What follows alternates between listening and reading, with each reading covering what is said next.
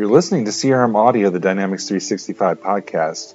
This is a special episode from the Extreme 365 conference in Long Beach, California. This week we're joined by special guest Chris Huntingford.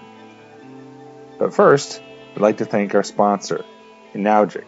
Inogic is a leading Microsoft Gold Dynamics CRM ISV delivering best-in-class Dynamics 365 customer engagement solutions, as well as cost-effective and high-quality offshore Dynamics CRM programming services. Inogic's innovative solution portfolio includes Maplytics, a premier map visualization, routing, and geoanalytics app for Dynamics 365 customer engagement. Inogic that offers a seamless integration between QuickBooks and Dynamics 365 customer engagement and other productivity apps like User Adoption Monitor, Click to Clone, and Click to Export. We thank Inogic for supporting CRM Audio, the Dynamics 365 podcast. All right, so this is like uh, worlds colliding. Kinda. We're joined by Chris Huntingford. What's up? and Chris is uh, Chris is one of our colleagues from the UK. He's also very active online, better known as the tattooed CRM guy. That's it, man. It's uh, the name speaks for itself. So, Chris, how did you come up with that name, tattooed CRM guy? I can't see why you would call yourself. that. if only you guys could see. But um, so basically, um, when I first started, when I first started in Dynamics, probably about about eight and a half years ago, roughly at Carabina, and um, I got my first tattoo, and my boss always said to me, "Man, you look like you could hit with a wet newspaper." and I never, I never really had the kahunas to actually create the, the, the, the, Twitter name. And then I moved here, and I thought, you know what? What the hell? Why not? So yeah, there that, it is. That tattoo you have of the Dynamics CRM 2011 logo is awesome. Oh, it's on, it's weird because it's on my backside. I don't know why Joel's looking. Yeah. I, I, I particularly like the uh, Dynamics CRM 1.2 target with the arrow. that that oddly enough, full back tattoo. Oh yeah, it is. Yeah, yeah.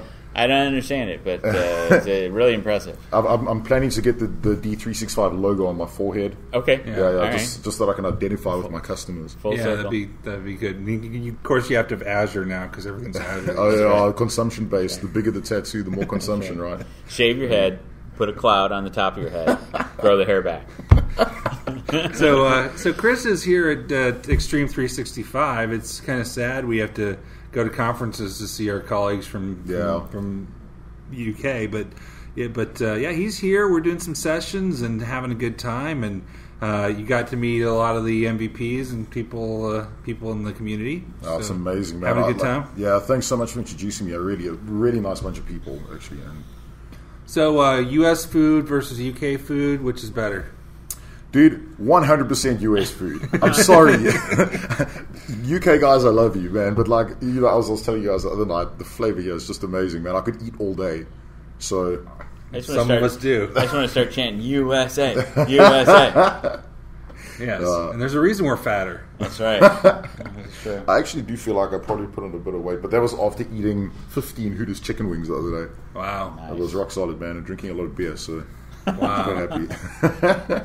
That'll do it. So, um, what are we talking about? LinkedIn? Mm. Yeah, so I suppose the first part of this, and I don't want to take over, but I had some questions for Shawn, and okay. it's around Sales Navigator. Sure. Don't worry, don't worry, dude, I'm not going to set you up for failure. No, not a problem. I just actually sat through one of Shawn's uh, demos, and I'm thoroughly impressed. I actually hadn't seen all that functionality, man, and like, it looks awesome. Um, the last time I actually saw Sales Navigator, God, it was ages ago, and it, I think it was an AppSource and was a bit of a, a problematic download. Mm-hmm. That was when it was still when it was before it was like really the Microsoft version right. of the yeah. solution. It was a right. it was a it was a service was a that could work on. with with Salesforce and CRM, right. and it was yeah. generally unimpressive across the board. Mm-hmm. And I think I think that's probably where some of my my negative perception was. Um, after seeing what I saw today, I'm blown away. Um, so I mean, just to give you guys some information. So Shawn showed me some of the bits and pieces around lead management, um, point point drives. Point drive. Yeah, yeah. There point we go. Drive, my favorite, my some favorite. Very, some very uh, cool stuff there. Yeah, I, I, really enjoyed that, and then sort of what, what it would look like inside Dynamics 365 and customer engagement and how it all works. Mm-hmm. And I suppose, like my first question is around the UI. So I noticed, you know, when you go onto Sales Navigator, the UI looks really nice. Um, yep. It looks a lot more crispy you, you showed us a bit of a difference between how it looks on your actual personal LinkedIn Right. and how it looks sort of on Sales Navigator. If you could just share some more info around that. Yeah, well, really, because what it, what what it does, the differential in the two experiences, one is a is a broader kind of community look. Like, what is everybody looking at? What mm. are the things that might be of interest to you based on people that you follow, right, or have as a connection? Mm. With Sales Navigator, it's a targeted look specifically to the accounts and leads that you follow and information that's important to be able to connect with them in a in a in an actionable manner right? So what what news stories have affected those accounts? Uh, what what leads have changed jobs recently um, what articles have been shared by people at the at the accounts you're following that could be potential leads Yeah. they're all they're all touch points that are, are just asking to be uh, to be taken advantage of really Okay, so essentially you, you have the, that, that information at your fingertips. You can grab it whenever you need. The question I'd ask is, what is the difference between the information in LinkedIn Sales Navigator and the information in Dynamics? Is there a link between the two, or is it just completely separate? So right now it is a it is a separate set of data. Um, you have to remember, unlike thing un, unlike add-ins like uh, Insights, so InsideView. Yeah, they synchronize actually Right. synchronize the data. Yeah, Yeah, you're actually yeah. pulling data down into Dynamics for that. There's privacy uh, rules and regs with LinkedIn for their um, for the people that subscribe, their Yeah. members, right? So you can't necessarily just wholesale pull data down into Dynamics. Yeah, that right? would be a little dodgy. right. You, I, the way I look at it is, you're using LinkedIn uh, as a tool to to find potential um, touch points with leads and accounts that you follow. Cool. With Dynamics, you're documenting the interactions you have with people in your um, in your CRM, whether they're current customers, prospective cu- clients, um, or vendors, partners, what have you. Right. Cool. So the the difference is to me, I create a record in Dynamics with the with the widget from the LinkedIn member profile. I can find out whether or not one they're in LinkedIn. Um, it's very possible they may not be part of LinkedIn, but if they are in LinkedIn, I can then look at that, save them as a lead within Sales Navigator, right? And then also see from that, I could see what icebreakers are potential.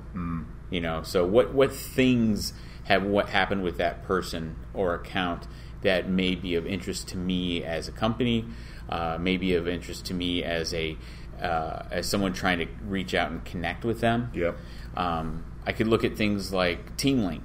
Uh, who in my who in my team has some sort of relationship with them That that that, can provide a warm handoff, right? It's always better to it's always better to, to, to reach out to someone where there's context.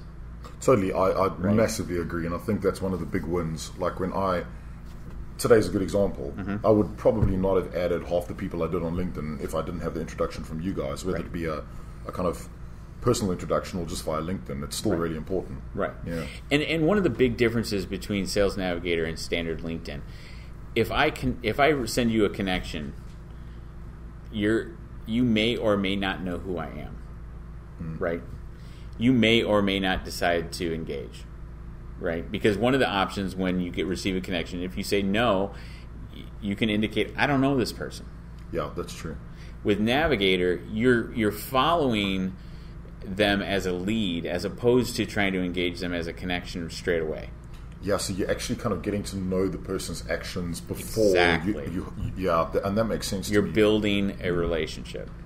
Once you build that rapport and engage with them, by all means, then you could ask for the connection, mm. which then they become part of your ability to connect with others within that organization. Yeah, right? so your circle, their circle of influence becomes part of yours, and Correct. it grows with you. That's the big difference between Sales Navigator and standard LinkedIn. Okay. So the question that came up, one of the guys asked, which was good, was okay. So I have this person on LinkedIn. I'm connected to him. I'm talking to him. I want to save as a lead. Mm-hmm. To save as a lead saves as a LinkedIn lead, not something in CRM. Right.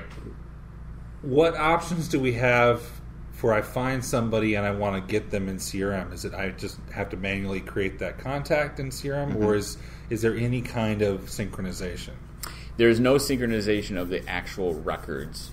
And that's something that if you look at the videos of the presentations from Ignite or other places, it looks like we are ultimately going there down the road. It's it's possible, but I would say that there's going to have to be some changes to the LinkedIn um, T's and C's. Yeah, because people won't willingly want to share their data. Well, they might, but not to that point. You, the other thing that I'm worried about is if you think about rules like GDPR, right? Mm-hmm. So that regulation in, in um, the EU, GDP, what? General Data Protection Regulation. Okay. Yeah, yeah. Sorry, man. I, I acronymized you. There you go. We're Americans. We don't Yeah. know GDPR. No comment. yeah. No, so it's it's it's it's important because there are rules and regulations about what data you can store about about somebody. Mm-hmm. So if you think about it, um, I'm going to use the example of insurance. You have yourself as a contact in a CRM system, mm-hmm. right? So that's your personal data. But there's also activities. There'll be documentation. There'll be mm-hmm. emails. There'll be interactions, and all of that stuff becomes part of the, that. All of that stuff is your data, effectively. Right. So if you phone in and you request every single piece of data that that company has on someone, you have to be able to produce it. And if you add somebody unwillingly, so if they don't physically agree to you being in your system, you mm-hmm. can get into a bit of trouble. Mm-hmm. right. Now, obviously, the regulations are still a little bit vague, and not, I don't think anyone knows all the rules. But what we have to do is we have to be prepared, and I think. You know, we are looking into these types of things. We have to understand that you know the, these rules might change. We don't know what's going to happen, but Right. essentially, from a platform point of view, we've got the ability to cater for them. So, where does the origin of your contact come from when you use LinkedIn? Is it I'm searching LinkedIn and I'm finding people and it's recommending? I- I'm following companies and it's mm-hmm. it's recommending people So- that I may be maybe leads for me or what? So this is what happens when you start with Sales Navigator. Your first entry into Sales Navigator asks you a number of questions. What industries are you interested in? What companies are you interested in? What people are you interested in? And you can actually indicate that right from jump. So when you do that every day on the mobile device, on the Sales Sales Navigator app, you're going to get a list of recommended accounts to follow and recommended leads Okay. based on that criteria. Okay. So if I'm, let's say I'm selling, let's say I'm selling um, monitoring equipment, and I'm interested in healthcare companies. I'm interested in uh, manufacturing firms, and I'm interested in aeronautical space, space and air. Okay. Okay. I can indicate those industries, and it will then go to LinkedIn and say, "Here are some companies that may be of interest to you." okay. right? You know. Um, it'll also look at your followed accounts and your leads and say, here's some recommended leads based on the people you currently follow. Right. Okay, so it is based on who you're currently following. Okay, that, Right. that that's that's important And so then I can see Chris Huntingford. I'm two or three levels away from him, but I know this person that knows him. Right. And so I can reach out to him, say, "Hey, can you intro me or whatever, Right. and warm up the cold call?" Right. And then and then from there, uh, that's that's how you're that's how you're getting just raw LinkedIn data. But to your question about how am I create how am I creating the contact records or account records in Dynamics 365, I like to look at this as my method would be I'm using insights to build those records. Yeah.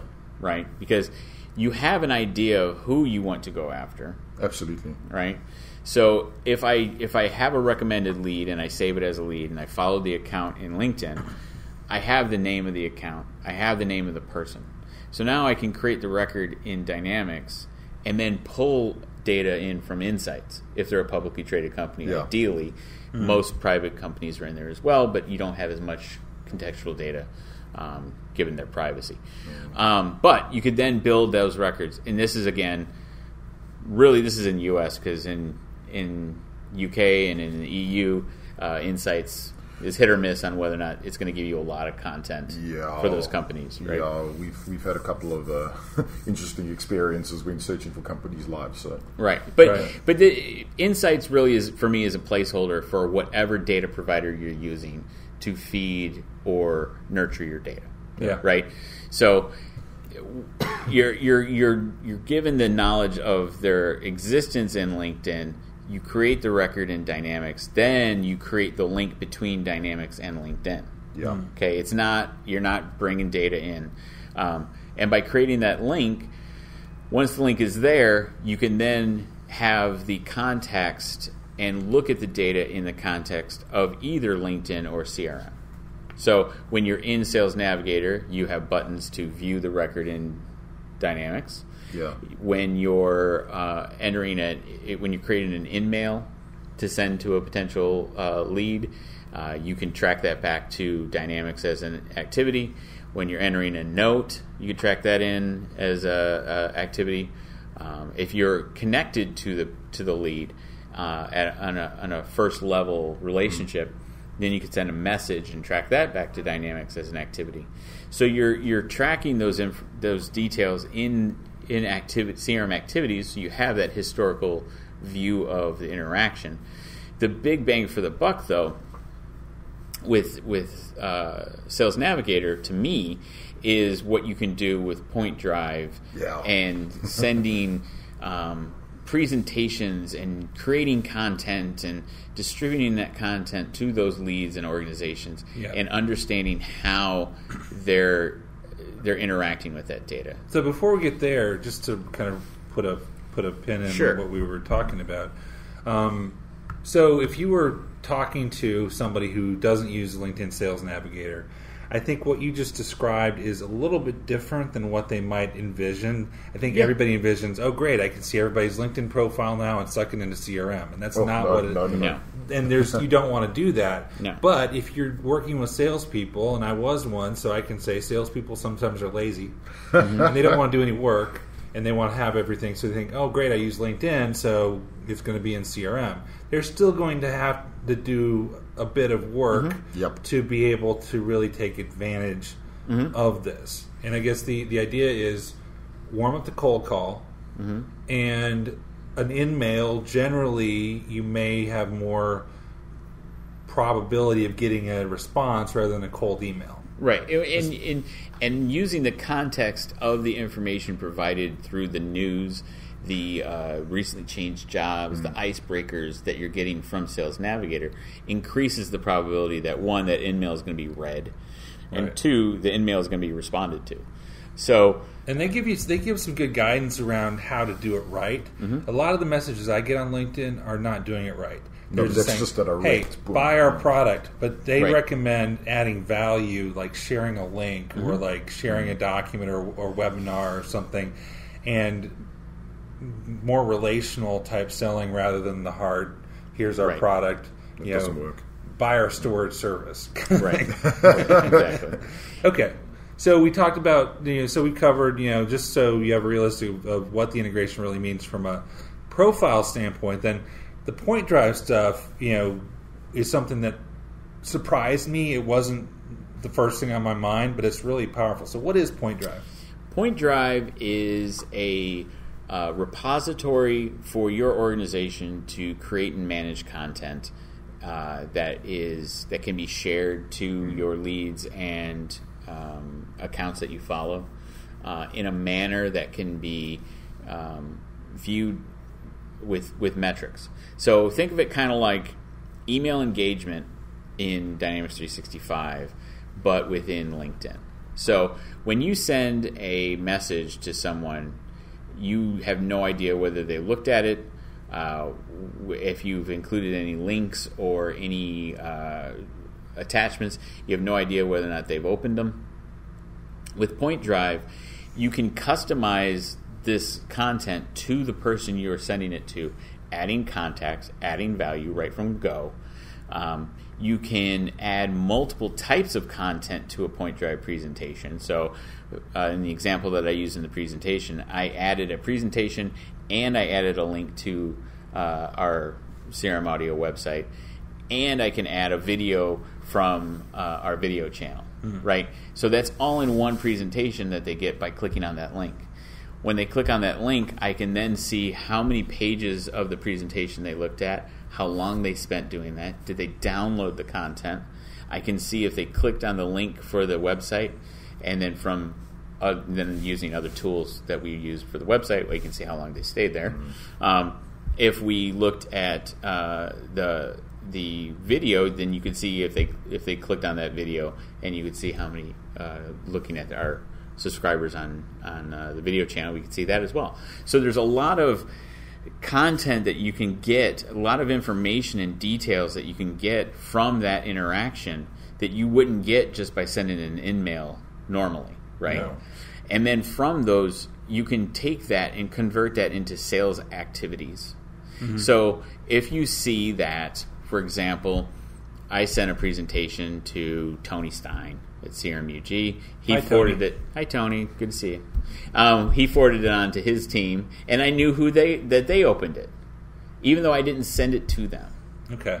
because it it tracked that, that they opened it. so since besides being Captain Point Drive, you Yes. also you also are Mr. Relationship Insights. yes, And Relationship Insights has email insights where I can track attachments Yes, and I can can. see I can stalk you and see oh you just opened your email at 6:05 p.m. on your iPhone. at this location. Um, well, you can't do the on your- location it anymore. They took that away. really? Yeah, because it was creepy, Big Brother. But there is a fine line between being cool and being creepy. Yes, Like, yes. yeah. But now the the big difference between email engagement and what that does, and what the metrics that Point Drive is gathering, with email engagement, that is tracking emails going through um, Dynamics and being tracked, right? Yeah. So I can create a presentation in Point Drive, copy that link, put that link in an email in Dynamics, send it out, hmm. and I could get the metrics on did they open the email.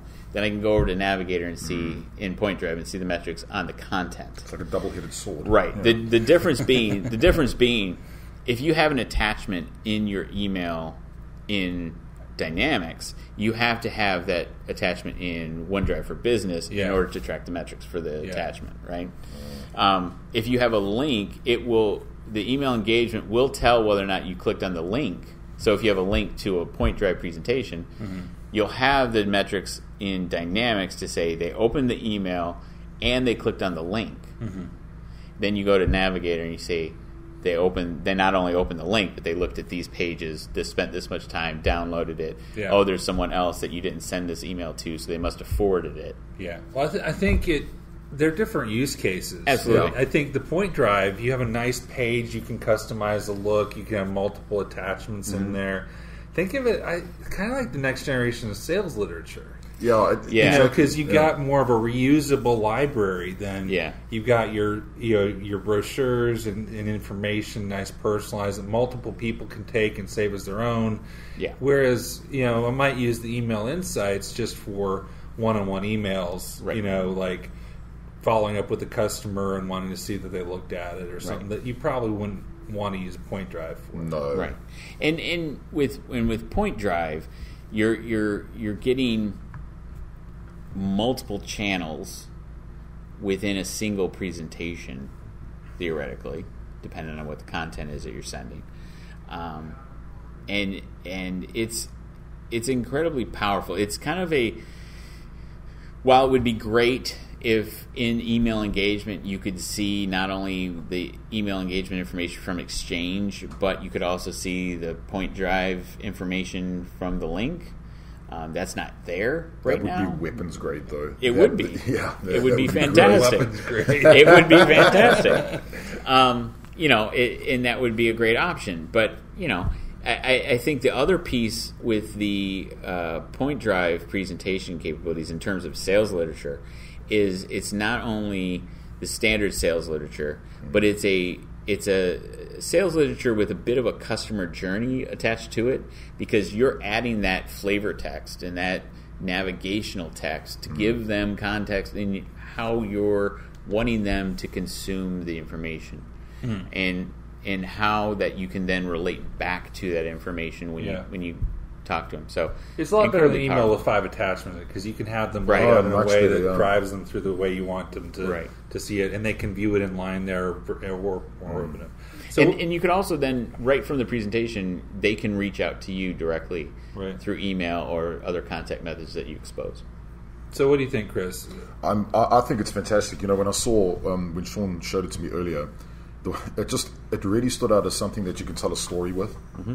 and that's the one thing I really liked. And the other thing was you got trackable information. The fact that you can see how many pages of the of the slideshow or presentation they viewed is unbelievable. Right. The fact that you can see how long they've spent on it. Um, what I think that it would be awesome to have that in Dynamics and utilize that in segmentation for marketing, Mm-hmm. but again, you know, it's not really there. To me, there's a lot of quick wins here, and to me, you're kind of you're setting your sales team up for success by providing them with a tool like that. And I reckon, you know, if I look at the guys that I work with um, from the UK team, they would love to have something like that where they could, you know, provide direct information to their customers. And it, it just it's a massively quick win. I, I can't see any Absolutely. downside to it at all. Absolutely. And I would love to see action cards in Relationship Assistant Yeah. regarding this data. That that that would be That like would double be cool. great. So, what is what are the pieces that come back in? Because you do get in mail history if you have the synchronous mm-hmm. have the sync set up, Right. And so, you know, if you send it, that's a that's a big win because mm-hmm. your your salespeople are probably contacting people through LinkedIn Mail Mm-hmm. right now, but you're not having record of that tracked in CRM. Well, mm-hmm. this gives them the ability to do that mm-hmm. and still have that. What from something from the point drive syncs back in there too, right? Yeah, it's it's emails or eh, I'm sorry, in-mails, messages, notes, and phone calls if you use the mobile app. Those are the four pieces. I have a random question on. So they come back as activities. Are they custom activities that are sitting in CRM, or is it uh, like in an email format? Those? It's a unique activity type. Like if you if you go and do the drop down the activity pane, you see a specific in mail. so it actually says in mail. Can you explain, Captain Point Drive, how the um, in mail works? I don't, I don't, I get it, but I don't because I know I can send somebody a message through LinkedIn Right. Only if you're connected to them. if them. I'm connected to them. Is that considered an in mail? No. And what's the difference? And what if with the you get some extra superpowers for in mail Right. with with the sales navigator. What, Right. What so, is that? So with messages, you're, you're sending messages when you're connected. There's no. That's just. It's just like sending a, a note. A That message. stand one one Right. to one sort of. Correct. Yeah. You've already you've already been linked. You, every there's an acknowledgement that uh, you have that openness to communicate. Yeah. Right. With InMail, dependent on your subscription, you have a certain number of InMail messages per month that you can send. Um, with Sales Navigator, I believe it starts at 150 Okay. that you have. But in mail, uh, and if any LinkedIn people are listening, and I say this wrong, sorry, but I believe the in mail in it's like an invitation to mail, right? Okay. So when you send an in mail, you'll notice when you send it um, whether or not it's been accepted. So think of it like it's an invitation to talk, and if you haven't accepted that invitation, well, then I don't want to talk. Yeah. Right. Yeah. But once they accept it, then then you can then you can continue to talk via InMail. Um, but that that's really the biggest difference is you have a you have a set number of potential invitations you can send out per period, so it's not spam. Um, Yeah, it's not a marketing tool. Let's put it that right, right. Okay. So, but if I get an in mail from someone, does it show up in my messages? It'll show in your Sales Navigator. Uh, No, I mean inbox. somebody has Sales Navigator. They send me a message, an in mail. Does that show up in the recipient? It'll show up in your in, it'll show up in your regular inbox. Yes. So when I have my inbox here, some of these people, like recruiters that I'm not connected to, Yep. that's in mail. Potentially, yes. Okay. If you're not connected to them, if it's if it's other than first degree connection, it's an InMail. Mm. Okay. I've noticed that what it'll do, so it like splits the screen. If you have a look there, Right. So it'll be they, this is logged as a new opportunity in in my LinkedIn. Mm-hmm. But um, here's the people I'm chatting to standard, but I'm not I'm not connected to that person. right. Yeah. And it says right off. It says InMail. Yep, absolutely. So if I go it. see all of them, and it says filter by email. There we go. Yeah. Yeah. Very smart little tool, Mm-hmm. I will say. And and I I really like also in the um, mobile app with Sales Navigator, if you if you have a phone number accessible to it, you can use that to make a phone call, and it'll use your, your obviously your your phone on your phone, but you can then track that as an activity as well. And you mentioned that you can set whether you can track activities or not. Mm-hmm. So by uh, user through the the Sales Navigator administrator Yeah. can indicate which users in your team with the Sales Navigator That's cool. licensing mm. can track back to CRM. Correct. that's brilliant. Mm-hmm. It's it's an incredibly powerful tool, and if you, uh, I, I I was incorrect when I said this earlier in the presentation, but you can you can get a uh, team level. No, I'm sorry, professional level trial, not the team. So you don't you don't get the widget and you don't get the um, PointDrive and such. Okay. But uh, PointDrive is an enterprise level um, uh, solution on an enterprise agreement. And the one thing I will ask is, do you need any fancy LinkedIn licensing for this, like premium? It's more than premium. It's it's it's an enterprise uh, or team to get the widget. If you want the full Sales Navigator with PointDrive and everything, that's the that's the full um, relationship sales license uh, on an enterprise level. Perfect. Yeah, Yeah. that's awesome. So let's talk InsideView versus LinkedIn. We know they're they're dramatically different, and LinkedIn has high value, especially because the difference is LinkedIn is the one place that people actively want to put their information out on versus a DNB or InsideView where they are farming for that data. Right. But I find InsideView still has a lot of value. Oh, It does. I find the um, company news feed inside of, InsideView really helpful.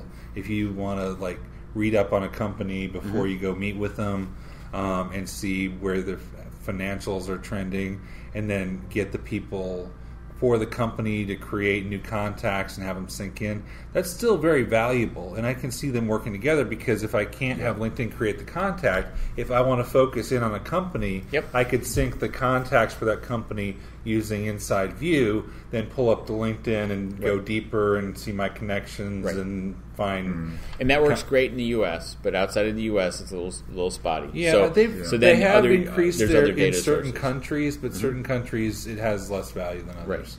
Um, and I think GDPR will be interesting for those for those Uh, guys. But in the. U.S., I think it's U.S. Ha- and especially because in U.S. and Canada, InsideView is a standard part of your subscription. You should use it. You, you, it doesn't cost you anything else, and it can supplement. And not ev- the other thing is, I don't think anybody's going to want to get LinkedIn Sales Navigator for every CRM user No, no, no, no, and you just shouldn't. Specific salespeople, you know, even maybe inside salespeople, you might not want to if they're have a defined market. Like we have customers that have, you know, you sell, uh, you know, a, aluminum to the automotive industry. You've got a set number of customers you work with, Exactly.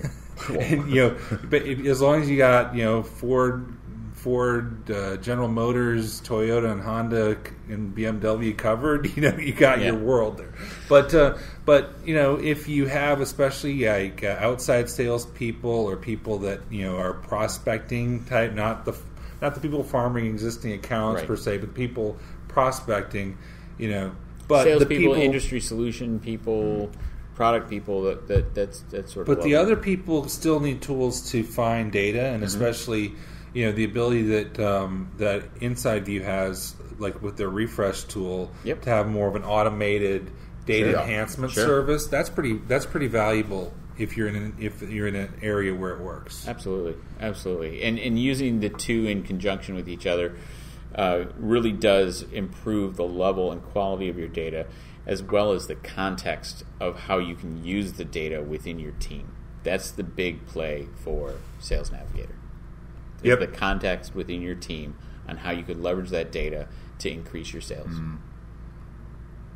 Yeah, insights is still very powerful. I find it very useful. I mean, we do we do some stuff in legal, and um, they love it when we show them. And, and look, it's it's a great tool there. Um, Obviously, it's got its place, and it really does. But in certain areas, it's it's amazing. And I'm, I'm Yeah. a big I'm I'm still a huge fan. And I, I think I think people should try both. Yeah, um, because you know you you want to know what comes out of the box, and what comes out of the box is actually pretty good. It's Yeah. not it's not a it's not a half rate service. It's actually it's actually quite good and can help you, you know, where LinkedIn is helpful for finding people and connecting to people through your other connections. It's not the I'm going to go find everybody in this town and reach out and and Exactly. you know, and there's also the B two B versus B two C. I think you'll find that you know LinkedIn is good for the for the personal contacts, but you might not have everybody on the company on LinkedIn. Right. Exactly. And the executives a lot of times aren't.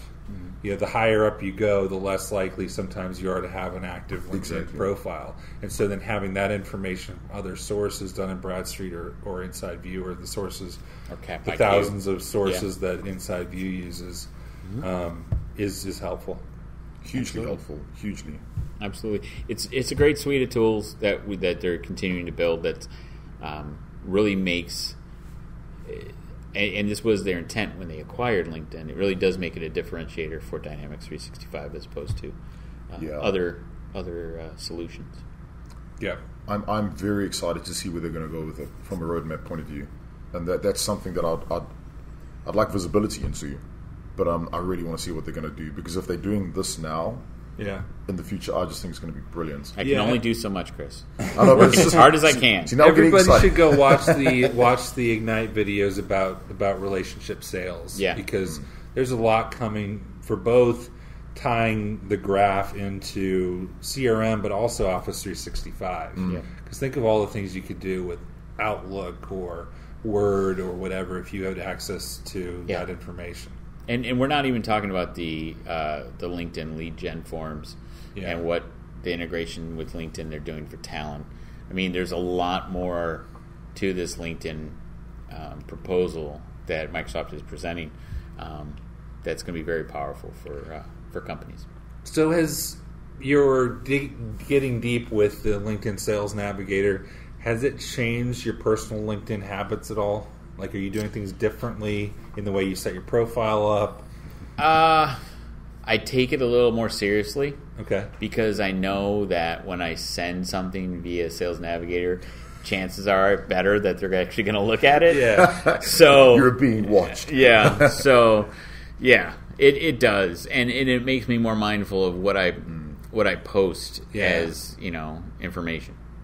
You know, I I should have taken my uh, dyna- my Extreme365 profile a little bit more seriously. I filled out the description of my session and it had a little text box that said, "Put your bio in here." And so I put like a line that said, I'm awesome. Yeah. The end. I'm an MVP and I have a podcast. Yeah. And then I look at everybody else's and they're like Yeah, I have a paragraph. five pages long Yeah. with starting from birth Yeah. and all the major accomplishments, Yeah. including their Boy Scout rank. I'm Joe. Have podcast is good. Have no time for bio. Yeah, yeah, that's all right. You're You Joel know Lindstrom, me. for God's sake. yeah. It's all good. But your LinkedIn profile is much better. Well, thanks. You're welcome. I still enjoy going to using the endorsements on LinkedIn and finding obscure ones. My favorite one is mountaineering. You guys Yeah. have got to go into mine. I have Yeah. be I've been endorsed for being awesome. There you go. Scott Sewell is endorsed for barbecue. As well he should be. As well This he has should been I'm actually gonna- I'm CRM actually gonna Audio, add a the very, very Dynamics strange one 365 later, I think. podcast. I've got to think of something Business interesting. Solutions Yeah. MVPs Goat herding. George Dubinsky, Joel Lindstrom, and Shawn Tabor. This podcast is a production of Dynamic Podcasts LLC. Follow us on Twitter at CRM Audio. Subscribe to our podcast on Apple Podcasts, Google Play Music, SoundCloud, Stitcher, TuneIn, or any place else that fine podcasts are available. You can email us at voice at crm.audio with questions or topic suggestions.